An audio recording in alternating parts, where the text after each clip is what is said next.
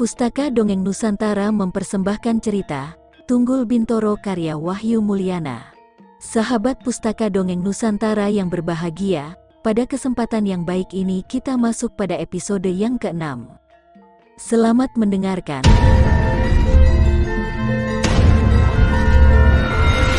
Di dalam perahu cepat itu terdapat enam buah anak perahu. Dengan cepat mereka pun ikut menceburkan diri masuk ke dalam air, Tak antara lama tampaklah di dekat air di perahu itu muncul lima atau enam orang perompak. Chandra Wulan dan Tunggorono telah bersiap sedia dengan senjata mereka. Begitu melihat musuh, mereka lalu membacok dan menusuk dengan berulang-ulang. Karena itulah maka air laut menjadi merah karena darah. Air laut yang kehijau-hijauan itu berubah warnanya menjadi merah padam. Melihat ini maka beberapa anggota perompak lalu menceburkan diri ke dalam laut untuk menolong kawan-kawannya. Panas hati pendeta Baudenda melihat aksi kawanan perompak itu, segera ia melompat ke arah perahu musuhnya, baru ia menggerakkan tangannya terlihatlah beberapa anak buah perompak jatuh terhajar ke dalam air. Pendeta itu tertawa berkakakan, kemudian melompat ke lain perahu, Kembali ia menggunakan tangannya dan kembalilah terlihat beberapa anak buah perahu itu jatuh tersapu oleh pukulannya. Setelah itu kembali kakek. Pendeta yang sedang mabuk kemenangan ini melompat ke perahu yang satunya dan ia memperoleh kemenangan ini melompat ke perahu yang satunya dan ia memperoleh kemenangan yang lebih gemilang lagi. Dengan gagahnya pendeta Baudenda dapat mengobrak-abrik kurang lebih tiga puluhan buah perahu. Melihat ini kepala bajak itu menjadi marah, Segera ia berteriak supaya anak buahnya melepaskan panah-panahnya. Maka dengan sekejap mata saja pendeta yang perkasa itu telah dihujani oleh ratusan anak panah. Akan tetapi tentu saja ia tak mau menyerah dengan begitu saja. Kedua tangannya dikibas-kibaskan berulang-ulang. Dengan cara inilah ia menyapu anak panah yang mengancam keselamatannya. Dengan amat marah pendeta Baudenda berlompatan dan kemudian melompat ke perahu ketua bajak laut itu. Bajingan, akan kuperlihatkan kepadamu seberapa kesaktian dan kehebatan setan sayap satu, bentaknya sambil terus menyerang. Akan tetapi kepala perompak itu pun bukan orang sembarangan. Dengan cepat ia membalas serangan itu dengan serangan pula hingga keduanya terlibat dalam sebuah pertempuran yang hebat. Ketua perompak ini telah mencabut golok dan kampaknya.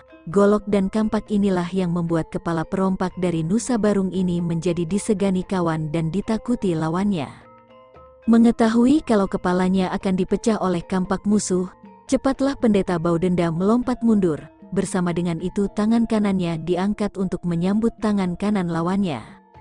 Benar-benar cerdik seperti kancil kepala perompak itu, segera ia menarik tangannya. Melihat ini pendeta Baudenda menjadi terkejut. Hal ini tak pernah disangka-sangkanya, Sewaktu pendeta Baudenda sedang disangsang oleh perasaan herannya, maka kesempatan ini dipakai oleh pemimpin perompak itu untuk menceburkan diri ke dalam laut, biur air muncrat sampai tinggi-tinggi. Pendeta Baudenda tertawa bergelak-gelak, akan tetapi hanya sebentar saja, karena tiba-tiba ia menjadi kaget sekali, ia mendapatkan perahunya telah kosong dan ternyata anak buah perahu itu pun telah ikut pemimpinnya untuk mencebur ke dalam laut. Kemudian perahu yang ditumpanginya itu maju dengan pesat meninggalkan perahu-perahu lainnya. Hingga dengan demikian perahu itu terpisah dengan lain-lainnya.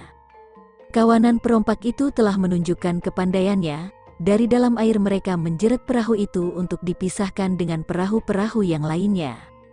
Pendeta Baudenda kaget bukan main, Insyaflah kini kalau dirinya sedang berada di dalam bahaya, bahkan hatinya menjadi gigrik ketika mengingat kalau dirinya ini tak bisa berenang barang sedikit pun juga, kalau tadi pendeta ini dapat bergerak dengan leluasa karena banyak perahu. Perahu yang menempel dan berada di dekat perahunya, gerakannya bebas. Untuk berlompatan dari sebuah perahu ke lain perahu, tapi sekarang, ke mana ia hendak melompat? Sewaktu pendeta itu tercengang-cengang, Tiba-tiba ia merasakan kalau kedua kakinya bergerak menjadi limbung, cepat-cepat ia memasang kuda-kudanya, kembali hatinya menjadi terkejut ketika mengetahui bahwa perahunya berputar-putar, inilah sebabnya yang menjadikan kakek pendeta itu tak dapat berdiri dengan tegap, ketika melihat ke dalam air tampaklah bayangan orang-orang yang tak henti-hentinya bergerak, pendeta Baudenda tahu kalau kawanan bajak laut ini sedang beraksi. Justru karena itulah maka kepala bajak laut itu muncul di permukaan air. Pendeta Baudenda mendongkol sekali, kemudian dengan cepat kakek tua ini menyambarkan tangannya. Akan tetapi dengan cepat kepala perompak itu selulup kembali, dan kembali badan perahunya bergerak-gerak. Mau tak mau menghadapi bahaya yang demikian ini hati pendeta kejam ini menjadi jeri juga, coba kalau ia bisa berenang. Di lain pihak tengkorak biru berada di dalam air dan juga Tunggorono serta Chandra Wulan yang berada di atas perahu, juga sedang melayani musuh-musuhnya. Bajak laut ini mempunyai kepandaian yang istimewa, yaitu mereka kuat sekali menyelam di dalam air dan dapat membor atau memahat perahu lawan hingga bocor. Di dalam hal ini perahu besar pun dapat mereka karamkan, asal perahu bocor dan air masuk ke dalam maka akan celakalah perahu itu. Tengkorak biru yang mengetahui kepandaian lawannya ini maka mengajak kawan-kawannya untuk mencebur ke dalam laut dan mengadakan perlawanan di dalam air. Ketua perkumpulan tengkorak berdarah itu berusaha mencegah kawanan bajak laut ini menenggelamkan perahunya. Karena tengkorak biru dan kawan-kawannya itu pun setan air maka agak sukarlah bajak laut itu untuk melakukan tugasnya. Di dalam keadaan yang payah tiba-tiba Tunggorono melihat perahu yang ditumpangi oleh Eyang gurunya terancam bahaya yang hebat. Perahu itu adalah kepunyaan perompak-perompak itu sendiri. Akan tetapi perompak-perompak itu tak sanggup melawan kesaktian si pendeta Baudenda. Terpaksalah mereka memahat dan mengampaki perahu-perahunya sendiri itu. Hingga dengan demikian perahunya menjadi bocor dan air mulai masuk. Dengan begitu maka perahunya terancam ketenggelaman. Bahkan sedikit demi sedikit perahu itu telah mulai tenggelam. Melihat hal yang demikian itu Tunggorono hendak turun tangan untuk Menolong eyang gurunya, Adi Chandra Wulan, kau peganglah kemudi ini, teriaknya kepada adik seperguruannya, susul perahu itu. Masih saja Tunggorono ini khawatir kalau perahunya kurang laju, maka ia lalu membantunya dengan menggunakan dayung, hingga dengan demikian Tunggorono hanya membela dirinya dengan tangan kiri saja. Di pihak perompak mereka masih tetap mengejar, bahkan tetap menggunakan anak panah untuk menyerang. Chandra Wulan menjadi repot, bahkan mesti menambah kewaspadaannya. Dengan sepasang pedangnya ia melindungi dirinya dari serangan-serangan anak panah lawan-lawannya. Bahkan ia masih tetap dapat melancarkan serangan balasan. Namun sayang sekali ia masih harus tetap memperhatikan kemudinya hingga dengan demikian pikirannya terpecah menjadi dua. Tujuan perahunya terus mengejar dan mendekati perahu yang ditumpangi oleh pendeta Baudenda. Sewaktu perahunya tengkorak biru muncul dari permukaan air. Kemudian ia memegangi pinggiran perahunya. Tunggorono, apakah kau menginginkan perahumu ditenggelamkan sekali? Tanyanya. Pertanyaan ini diajukan karena perahu yang ditumpangi oleh dua orang murid Ki Plompong itu maju dengan pesat ke daerah musuh, adalah sudah menjadi kebiasaan dalam pertempuran air kalau perahunya makin didekatkan maka pembelaan makin menjadi sulit, musuh yang lebih banyak itu dapat memecahkan dirinya, tak dapat orang berkelahi di dalam air sambil mengikuti jalannya perahu. Abis apakah kita tak akan menolong Eyang Guruku? Tanyanya. Ketika itu air telah masuk ke dalam perahu pendeta Baudenda telah masuk sedalam mata kaki, dan pendeta itu mulai repot. Hatinya pun memukul-mukul dengan keras karena khawatir sekali. Kakek ini baru mendapat harapan ketika perahu Tunggorono mendatanginya. Ia merasakan betapa jauhnya jarak antara kedua perahu itu, akan tetapi ia segera mengerahkan ilmu meringankan tubuhnya untuk melompat. Bersama dengan itu ia memberi tanda kepada Tunggorono. Adi Chandra Wulan awas, seru Tunggorono memperingatkan adik seperguruannya. Chandra Wulan segera memegang kemudinya dengan cepat kemudi itu digerakkan dan berputarlah perahunya. Ini dimaksudkan, apabila pendeta Baudenda telah naik ke atas perahunya, perahu itu pun telah putar haluan, akan tetapi apa mau dikata, dugaan itu meleset sama sekali, loncatan pendeta itu hanya kurang dua jengkal saja, karena itulah tak ampun lagi tubuhnya tercebur ke dalam air. Celaka, seru Tunggorono dengan kaget sekali, tanpa banyak cakap. Lagi ia lalu terjun ke dalam air untuk menolongnya. Pendeta itu memang sakti sekali, akan tetapi di dalam air ia tak berdaya. Dengan sekuat tenaga ia lalu menggerakkan kaki dan tangannya untuk mencoba dirinya berenang. Di samping itu pendeta Baudenda pun menutup mulut dan menahan napas, maksudnya supaya jangan kemasukan air. Ia tak pedulikan semua usahanya ini, rasanya sangat malu kalau harus mati tenggelam sedangkan ombak terus mendampar-dampar tubuhnya yang kemudian hanyut tak berketentuan. Eyang Guru, jangan takut, teriak Tunggorono, akan kutolong kau.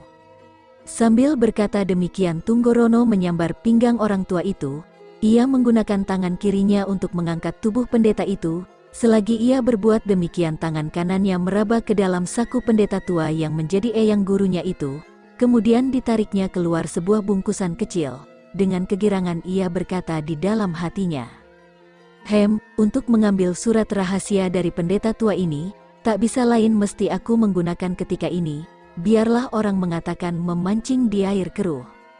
Pendeta Baudenda masih menggerakkan kaki dan tangannya. Karena tubuhnya dipegang oleh Tunggorono maka ia menekan tubuh si penolongnya itu, ia menggunakan tangan kanannya, apa mau dikata tubuh yang besar dan berat itu menekan ke bawah hingga Tunggorono ikut tenggelam, tak ada jalan lain terpaksa ia selulup untuk meringankan bebannya. Setelah ia timbul lagi, kemudian mengangkat tubuh eyang gurunya ini dan dinaikkan ke dalam perahunya, sedangkan dia sendiri menyusul naik dengan jalan memegangi pinggiran perahunya. Pendeta Baudenda tak minum air, setelah berada di atas perahu, ia lalu menjadi sakti lagi seperti biasa, kebetulan ada sebuah perahu bajak laut yang mengejarnya. Sewaktu perahu itu datang mendekat, dengan gesit ia melompat ke perahu musuh, kemudian menyerang dengan hebat. Hampir bersama-sama enam atau tujuh orang anak buah perahu itu jatuh terjungkal masuk ke dalam air. Tengkorak biru telah melompat naik ke dalam perahunya. Setelah pendeta Baudenda berkuasa di atas perahu musuhnya, kakek tua itu lalu melompat lagi ke perahu musuh yang lain dan hal ini telah diikuti oleh Tunggorono dan Chandra Wulan. Mereka berbuat demikian karena mereka tahu kalau perahunya sendiri telah mulai kemasukan air. Tunggorono memang cerdik, segera ia menguasai kemudi dan tengkorak biru dengan gigih menghalau musuh-musuh yang berani mendekat. Sayang sekali orang-orang dari perkumpulan tengkorak berdarah itu telah mati di dalam pertempuran di dalam air tadi. Maklumlah musuhnya jauh lebih banyak daripada mereka sendiri. Dengan cepat perahunya itu Berlayar menuju ke barat daya, pendeta Baudenda membantu untuk mendayung perahu. Kini sedikit pun ia tak mengeluarkan perkataan apa-apa, bungkam seribu bahasa. Ia telah merasakan bagaimana hebat dan kalutnya orang terjun ke dalam air kalau tak dapat berenang. Dari pengalamannya ini maka kakek pendeta yang sakti itu tak berani lagi membuka mulut besar untuk membual. Namun dengan itu ia membantu mendayung perahunya, hingga dengan demikian perahunya berlayar laju sekali bahkan dengan cepat perahunya ini dapat meninggalkan perahu-perahu perompak itu jauh di belakangnya. Baru saja mereka itu dapat melepaskan diri dan dapat pula dikatakan keluar dari lubang-lubang maut, kini mereka telah mulai berselisih lagi. Hei Tunggorono, kau hendak membawa perahu ini ke mana? Teriak tengkorak biru ketika melihat tujuan perahu itu. Apakah ini jalan untuk menuju ke Karang Bolong? Tunggorono tertawa lebar, Letak karang bolong di barat laut, jawabnya, aku sekarang tengah menuju ke barat daya, dengan demikian kita sekarang ini mengambil jalan yang bertentangan. Ketua perkumpulan tengkorak berdarah ini menjadi sangat mendongkol. Kau telah main gila seperti ini, apakah kau hendak menyangkal lagi, teriaknya sambil berniat merampas kemudi perahu untuk dikuasainya. Akan tetapi Tunggorono berlaku tenang, Orang-orang dari dunia kependekaran selamanya tetap memegang teguh pada janjinya. Sekali aku mengatakan putih tak nanti akan kukatakan hitam. Jawabnya, cara bagaimana kau ketahui kalau aku hendak menyangkal? Abis ke manakah kau hendak pergi? Pendeta Baudenda pun bertanya ke Pulau Karangsongo. Mendengar ini tengkorak biru ketua dari perkumpulan tengkorak berdarah menjadi semakin gusar. Ke Pulau Karangsongo untuk apakah teriaknya? Tunggul Tirto Ayu berada di sana. Akan tetapi kalau kalian memang tak menghendaki barang itu maka marilah kita kembali ke Karang Bolong. Jawabnya sambil melemparkan pandangannya ke arah ketua dari perkumpulan tengkorak berdarah. Setelah itu kembali ia berkata, Kawanan bajak laut itu sedang menderita kerugian yang besar. Apakah kalian tak khawatir mereka bakal mengejar kita?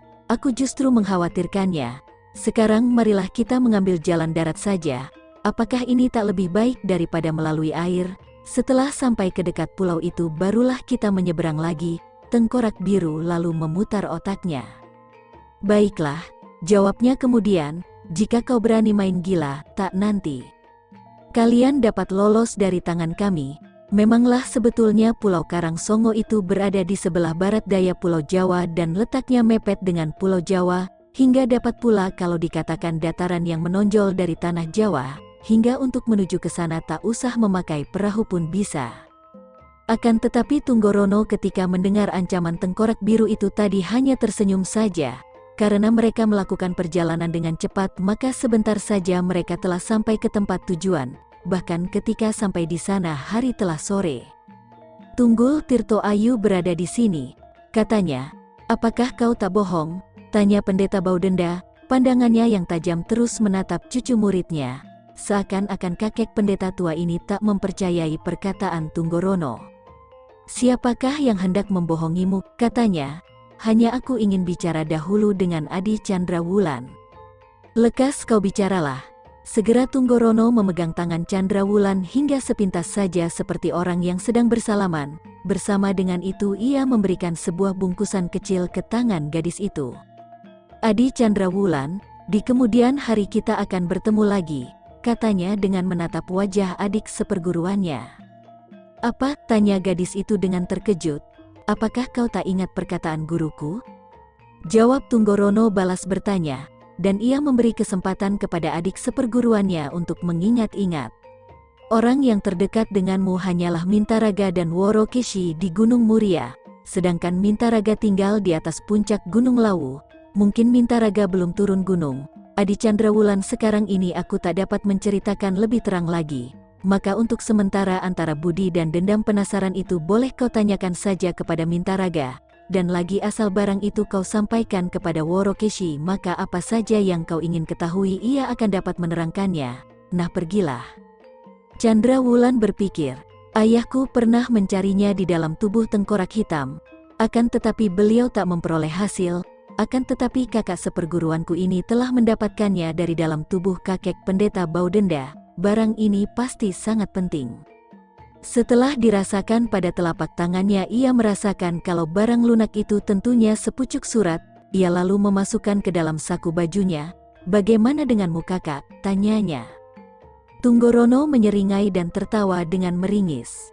Guruku telah menutup mata, apakah kau kira aku akan dapat hidup sendirian di dunia ini? Jawabnya dengan perlahan. Chandra Wulan menjadi terkejut sekali, kau, katanya. Sudah, sudahlah, Jangan kau bicara lebih banyak lagi, seru kakak seperguruannya mendadak berkata dengan keras, sekarang kau pergilah. Tengkorak biru tertawa dingin, kau hendak pergi, katanya dengan seram. Dengan cepat ia mencabut serulingnya dan menghadangi gerakan gadis yang akan pergi itu. Akan tetapi tiba-tiba saja sinar hijau berkelebat. Inilah serangan senjata rahasia yang berupa jarum-jarum, dan jarum-jarum ini menyibak di tengah-tengah tengkorak biru dan si gadis. Sewaktu ketua perkumpulan tengkorak berdarah itu melompat untuk menghindar, Chandra Wulan yang cerdik itu mengambil kesempatan untuk melompat. Tengkorak biru hendak mengejar, tapi sekarang ia dirintangi oleh Tunggorono yang telah menghunus pedangnya. Binatang, bagus sekali kau tak memegang janjimu, tegur murid pertama dari Ki Plompong. Mengenai Tunggul Tirto Ayu itu, kau tak punya hak apa-apa. Jika kau hendak mengajakku berkelahi aku pun tak takut, Sambil berkata demikian, Tunggorono lalu menikam. Cepat tengkorak biru menangkis dengan keras, hingga dengan demikian terdengar bunyi nyaring, kedua-duanya sama-sama mundur dengan tubuh terhuyung-huyung. Hal ini disebabkan saking kerasnya peraduan senjata mereka. Setelah itu kembali Tunggorono menyerang maju. Tengkorak biru menjadi marah dan segera melayani. Ia telah merasa dipermainkan, hingga dengan cepat pertarungan telah berjalan sampai 20 jurus. Sambil berkelahi Tunggorono tetap melirik dan memperhatikan dan memberi kesempatan kepada Chandra Wulan yang sedang melarikan diri. Setelah ia melihat kalau adik seperguruannya itu telah lari sampai jauh ia melompat keluar dari kalangan pertempuran. Apakah kalian telah puas dengan permainanmu tadi? Tanya pendeta Baudenda sambil tertawa. Sejak tadi ia hanya berdiam diri saja, setelah berkata demikian ia lalu berpaling ke arah Tunggorono dan berkata, Tunggorono, sekarang marilah kita cari Tunggul Tirto Ayu, di manakah adanya Tunggul peninggalan itu? Tunggorono hanya bersangsi sebentar, di Karang Bolong, jawabnya, pendeta Baudenda melompat dan berjingkrak, apa, teriaknya dengan Marah sekali, kau berani bergurau denganku. Lalu sebelah tangannya melayang, karena ia sangat mendongkol dan marah. Karena itulah ia mempergunakan tenaga dalamnya yang seberat seribu kati, hingga dapatlah dikatakan kalau ini merupakan pukulan kematian, atau paling enteng akan membuat setengah mati. Tunggorono sejak tadi memang telah waspada, dan selain itu gerakannya pun sangat lincah. Segera ia mengelakkan diri dari serangan yang dahsyat itu, setelah itu ia menggerakkan pedangnya menyambar ke arah muka pendeta itu, Yah pendeta yang menjadi eyang gurunya. Kau bunuhlah aku, teriaknya, jika aku mati, tentu ada orang yang akan membalaskan sakit hatiku, dialah Angger Mintaraga. Pendeta Baudenda menjadi tercengang. Sementara itu Chandra Wulan berlari-larian meninggalkan Pulau Karangsongo. Malam itu ia telah tak berada lagi di tempat itu. Gadis keras kepala ini terus lari ke arah barat, karena itulah sebentar saja ia telah sampai ke kota Cilacap. Tentu saja ia menjadi sangat letih dan lapar, juga menjadi ngantuk bukan main. Setelah masuk ke dalam rumah makan, lalu memanggil kepada pelayan. Pelayan, serunya dengan keras. Pelayan rumah makan itu menjadi heran ketika melihat tamunya ini hanyalah seorang gadis muda yang masih kekanak-kanakan. Kau mau apa nona kecil? Tanyanya. Akan tetapi ia menggampiri dengan cepat, Kemudian ia menyodorkan tarif makanannya. Seumur hidupnya Chandra Wulan belum pernah pergi dari Karang Bolong, sejak kecil ia memang belum pernah berpisah dengan ayahnya, oleh karena itu ia merasa sangat asing dengan pergaulan di luar. Yang harganya lebih mahal tentunya rasanya pun lebih lezat, pikinya sambil memperhatikan makanan itu, kemudian ia menunjuk ke arah ayam panggang goreng istimewa. Aku ingin yang ini, katanya, Bukan main herannya pelayan rumah makan itu, sejenak ia memandang ke arah Chandra Wulan. Oh, nona kecil, katanya sambil memandang ke arah Chandra Wulan. Ayam goreng istimewa ini tak akan habis dimakan oleh empat orang kuli. Bagaimana kau hanya seorang diri saja akan menghabiskan makanan yang demikian banyaknya? Begini saja akan kuberi kau tiga macam makanan yang harganya lebih ringan juga lezat sekali. Eh, kau begini banyak omong, dengan jalan bagaimanakah kau akan dapat berusaha, tegur Chandra Wulan, memang gadis ini menjadi tak senang. Apakah kau anggap kalau aku tak mempunyai uang? Oh, tidak, tidak nona, jawab pelayan itu sambil tertawa, akan tetapi... Pelayan itu tak segera pergi ke dapur untuk memenuhi pesanan nona kecil. Ini, melihat ini tentu saja Chandra Wulan menjadi gusar. Apakah kau tak membuatkan aku panggang ayam goreng istimewa? Tanyanya. Nona, kata pelayan itu yang telah menjadi curiga. Kuharapkan kau suka memaafkan kami. Aturan di rumah makan kami ini siapa yang hendak makan dia harus membayar terlebih dahulu. Hem, Chandra Wulan memperdengarkan suara hidungnya.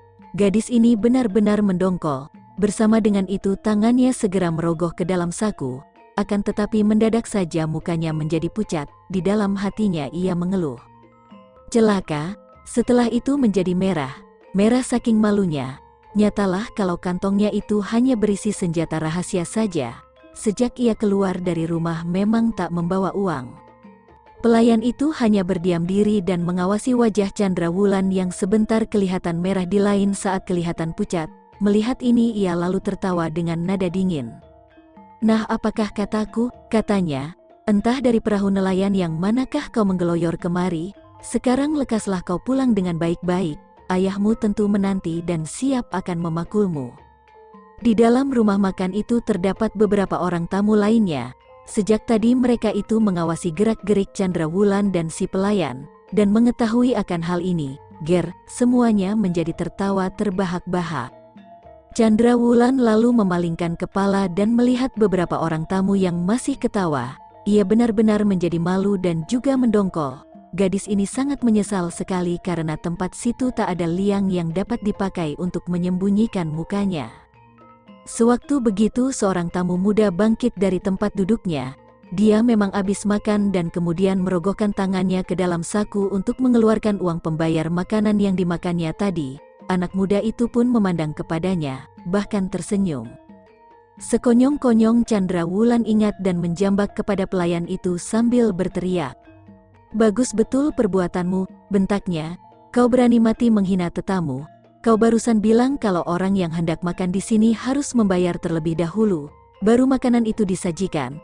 Kenapa tamu itu makan dahulu baru membayar? Dan ia menunjuk kepada si pemuda itu.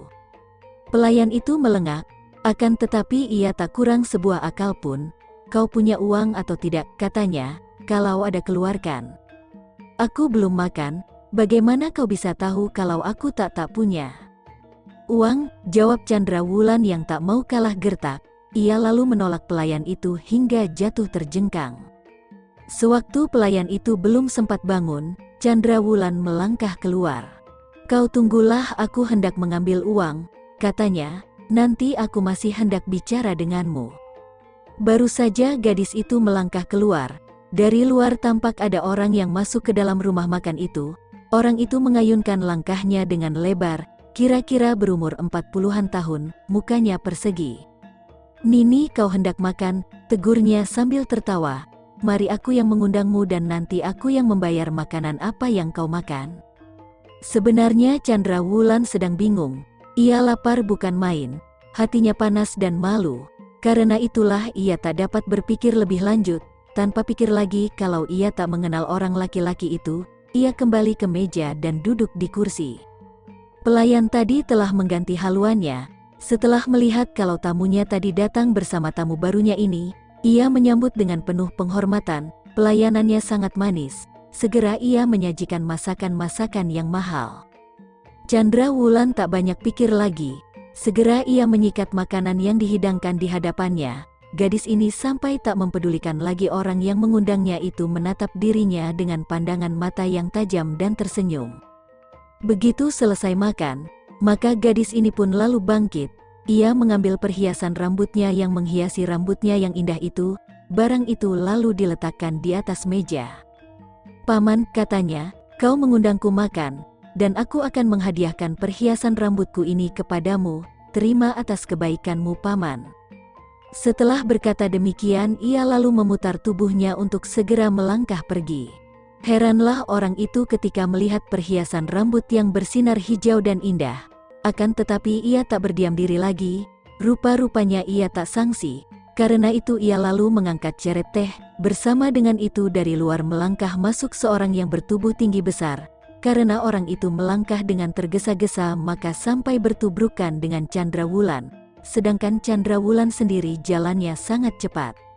Mengetahui akan hal ini Chandra Wulan menjadi marah, Hai kau ini jalan mengapa tanpa memakai mata, tegurnya, orang yang bertubuh tinggi besar itu tak menjadi marah, malah. Sebaliknya ia tertawa dengan cekikikan. Nona manis kau terburu-buru, hendak pergi ke manakah? Tanyanya. Apakah kau hendak mencari kekasihmu? Huaha, huaha, huaha, kenapa kau justru memaki aku? Sambil berkata demikian ia menjulurkan tangannya yang penuh dengan bulu untuk meraba muka Chandra Wulan yang cantik dan berbentuk bulat telur, halus dan putih kulitnya. Bukan main mendongkolnya hati Chandra Wulan.